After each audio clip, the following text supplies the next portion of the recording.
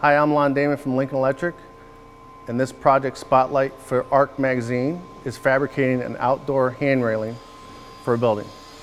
As with any welding project, you need to think about safety. So I have a helmet, a do-rag, safety glasses, FR jacket, cotton clothing, MIG welding gloves, uh, and, we, and just in case we have a fire extinguisher handy. I have various tools for this project. We're going to start off with the Power MIG 210 MP. We'll be welding with the MIG process. I got my Mini Flex fume extractor to capture any fume. Later on, we're going to be going to some flux cored, NR211, uh, for some outdoor welding on the roof. The wire that we're using is an 035 L56 Lincoln brand. The gas that we're using is 7525, which is 75 argon, 25 CO2. And the material we're using is uh, mild steel, 10 gauge, square tubing.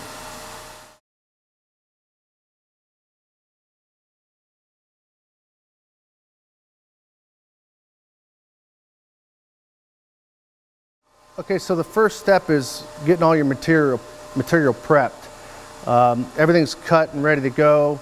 We cleaned off the mill scale with the grinder, make sure everything's squared. We have some Lincoln Electric uh, tools here, a mini multi-angle uh, unit here, and the pivot angle over here, just for to keep everything so it doesn't move. We're gonna tack weld a little bit to hold everything in place as we get all the other stiffeners in place so we can manipulate the project and then put all the rest of the pieces in and do the final welding later. Okay, so what we're gonna do is a little tack.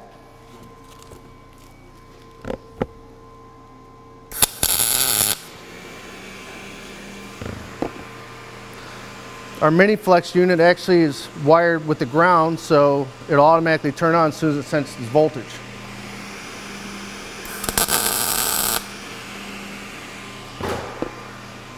So once I got a couple tacks in there, I can take this uh, mini angle off, set it off to the side. I'm gonna tack on the back side.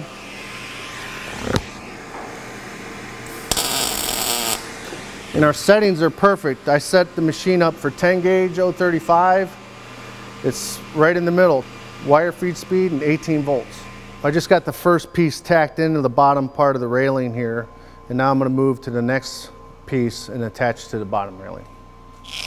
A lot of people don't take the time to get all the mill scale off and the rust, which makes it harder to get the arc started with MIG welding. Now we moved over to the second piece here.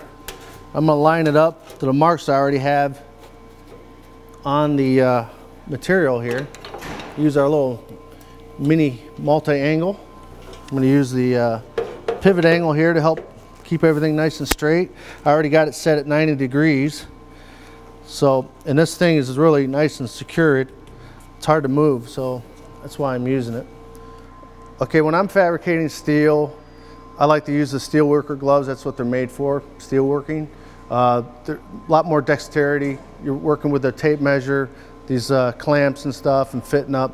So that's why I like to use these gloves. And now I'm gonna change back over to the MIG gloves and do some welding. I haven't really talked much about the uh, fume control, but the Mini Flex, the reason why I have it here is we're indoors and there's other people working in here, so we want to capture all the fume that we're generating indoors. Do a little tack here.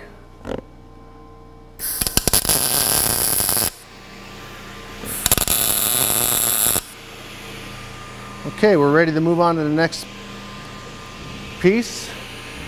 Everything's nice and secure. Now we're going to begin welding the top railing onto the pieces that we just tacked on with some tacks.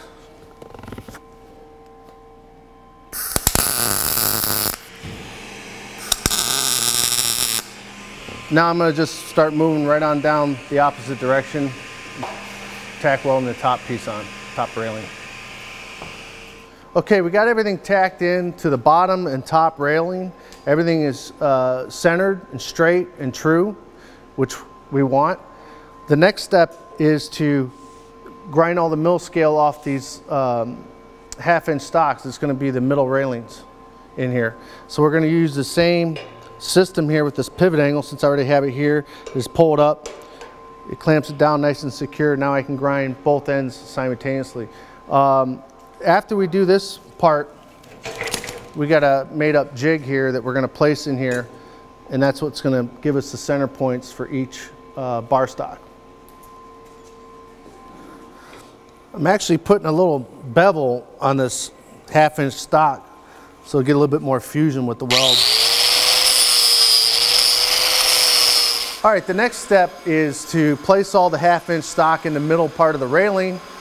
And I've already made this uh, makeshift jig out of some scrap material that's already pre-measured. It's gonna save us a lot of time. When you're doing a lot of these, it'll seem effortless to keep moving, productivity. So I place it on here like that. Everything's perfectly straight. I got the other side already attached. Um, and now we can place the stock in there, half, half inch uh, bar stock. Okay, everything's lined up. Ready to start tacking. Here we go.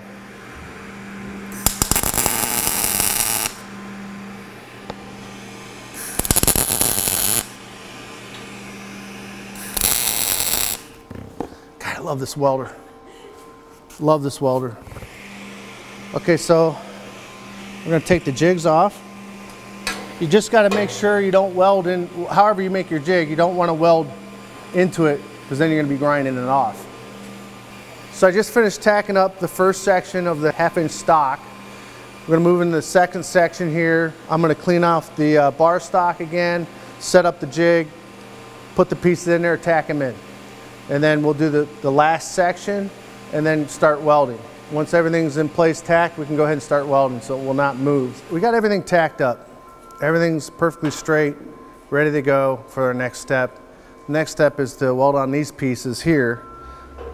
There's gonna be four of them where each straight line piece is all the way down.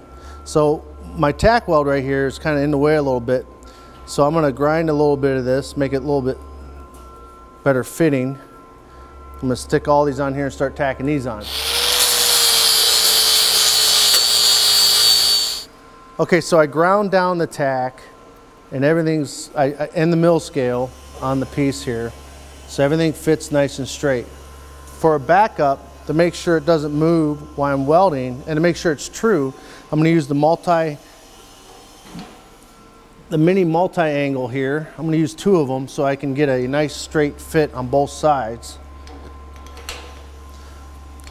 These are really cool if I haven't explained them, but they're off. They're not magnetic right now until you turn the switch.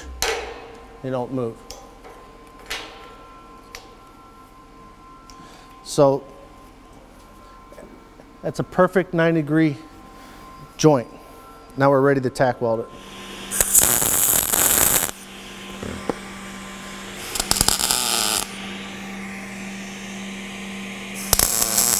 Since this is such a large object, it's not very easy to flip upside down, flip it over, or whichever way you want to do it. Because we're going to be welding it in different positions. So this is an all position type machine the wire MIG welding, it's all position. So I'm gonna do some vertical down because it's 10 gauge, you'll get plenty of penetration out of that. We're gonna do some horizontal welds. And then when we're all done on this side, we can flip it over and do the opposite. I can lay on my back and do the overheads, but at that point it'd be so much easier to flip it over and just weld all those horizontal or flat.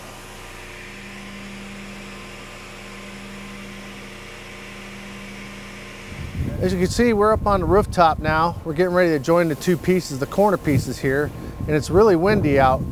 And so gas metal arc welding is not an option, so we're gonna change the machine over to flux core. Uh, so we had to change the rolls over, change the uh, wire, and we don't have the gas bottle up here, which makes it convenient. So we're gonna just weld this all up and we'll be done for today. So we encountered a little bit of problem with the uh, rooftop being a little bit uneven. So um, there's a little bit of a mismatch here on this joint. So we're gonna do a little bit of fill, uh, fill in the gap. The top is actually a good matchup. I'm gonna come on this outside joint, weld it up.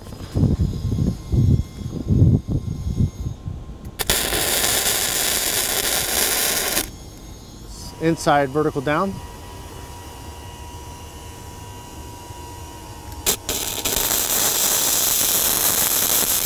We'll chip it off so you can see what it looks like.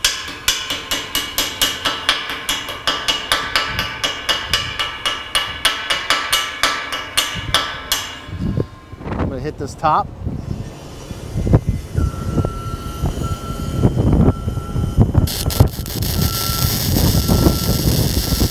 So this is really uneven under here. Um, so I got to fill a gap. So I'm going to do a little bit of a, a little weave action.